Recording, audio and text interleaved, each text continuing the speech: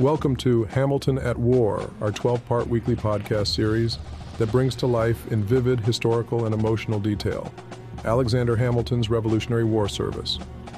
I'm Robert Child, and I hope you enjoy this latest installment. Hamilton at War, written by Robert Child and narrated by James Gillis. Bucks County. A dispatch rider from Philadelphia galloped through the rolling summer countryside at a breakneck pace with news of the British fleet's arrival. He was headed for the Moland House, a stone farmhouse in Hartsville, Pennsylvania, which served as Washington's new headquarters.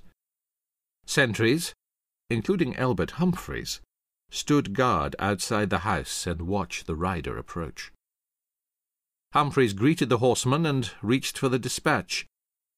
Urgent message for General Washington from the Continental Congress, the winded rider said. Washington popped out from the guarded door and snatched the dispatch from Humphrey's hand. He quickly read it and rushed back inside. Just past 4 a.m., with dawn just breaking, the main body of the Continental Army, 11,000 men, assembled on Washington's orders to move south to defend Philadelphia. It was August 23, 1777. A young French officer on horseback approached Washington who was speaking with his servant Billy Lee. Hamilton, off to the side, watched curiously as the French officer, in a regal white uniform, approached. The officer was the twenty-three year old, thinning, red faced, exuberant Marquis de Lafayette.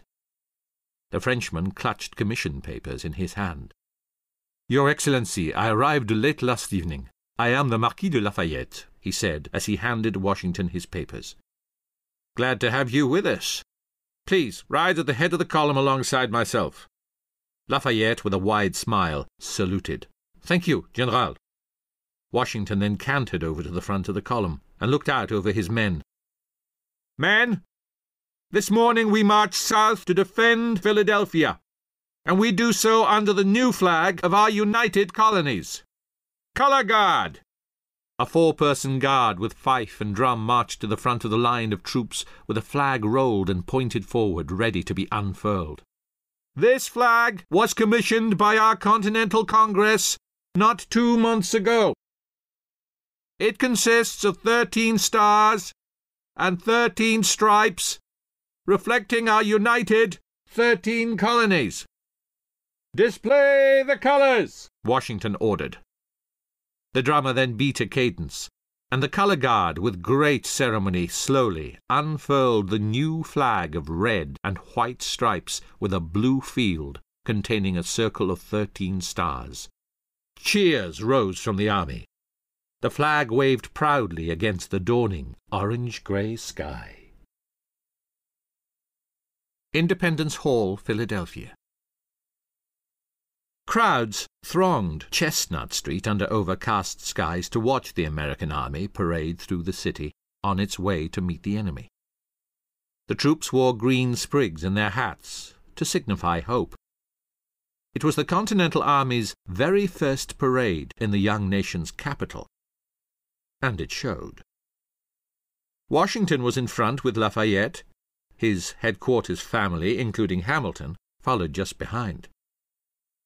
Hamilton, wide eyed in the saddle, regaled the reception.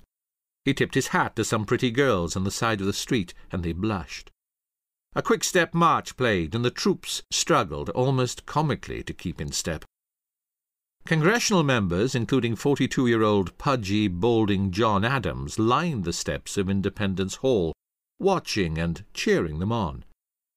Washington reached Adams' position. A fine looking group, General, Thank you, Mr. Adams, Washington said with a salute. Then Adams whispered to fellow Massachusetts delegate and the President of Congress, forty year old John Hancock, who stood beside him. I pray they fight better than they march. Hancock nodded in agreement, showing equal concern. Near Valley Forge, the swollen Schuylkill River, with its strong current, rushed before rising hills against a clear night sky.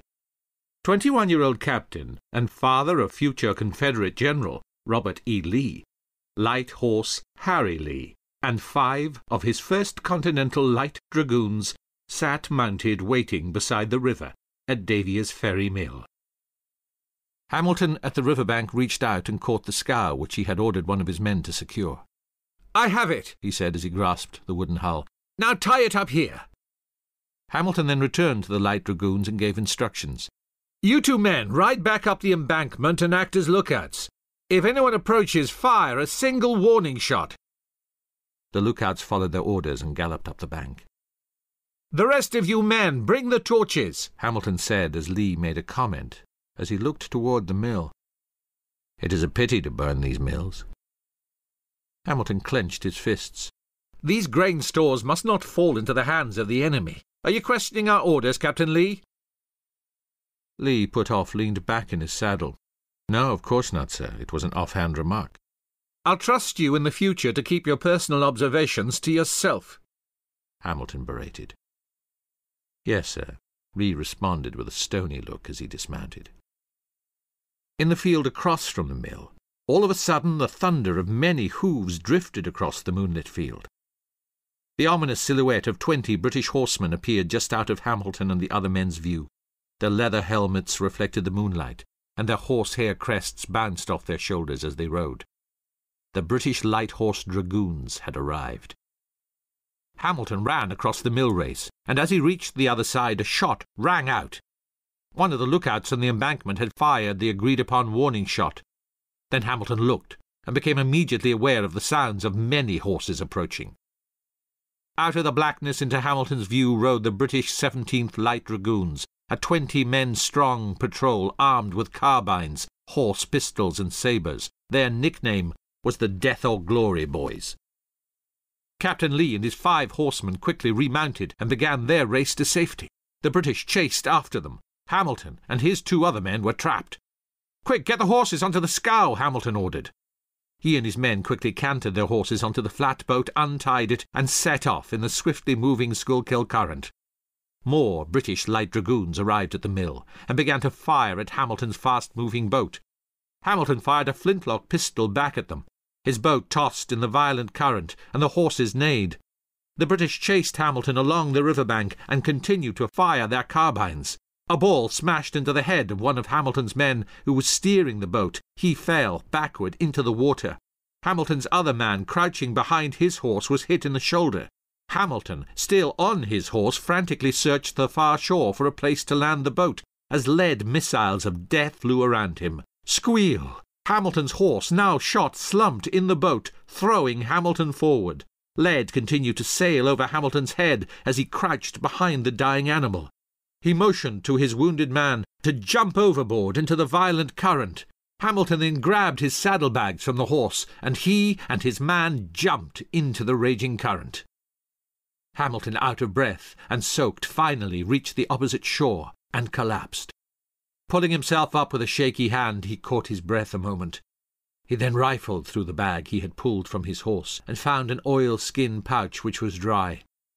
He pulled out a small book and a crude pencil from it and scribbled a note. Philadelphia, home of John Hancock.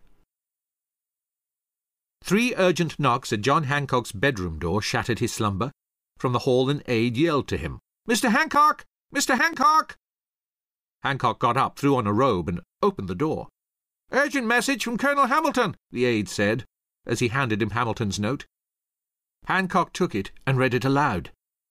Sir, if Congress has not left Philadelphia, they ought to do it immediately without fail, for the enemy have the means of throwing a party this night into the city.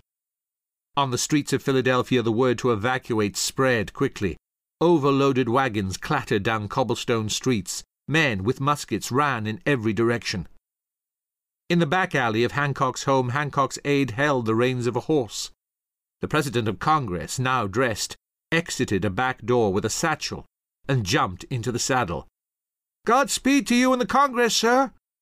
Hancock nodded and quickly rode off.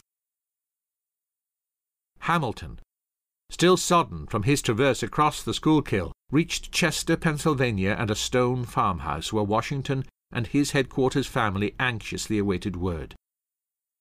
The men inside, including Washington, were grim as they paced the floor. The door swung open. The men turned. Lafayette, on crutches with a leg bandage, was stunned. Colonel Hamilton!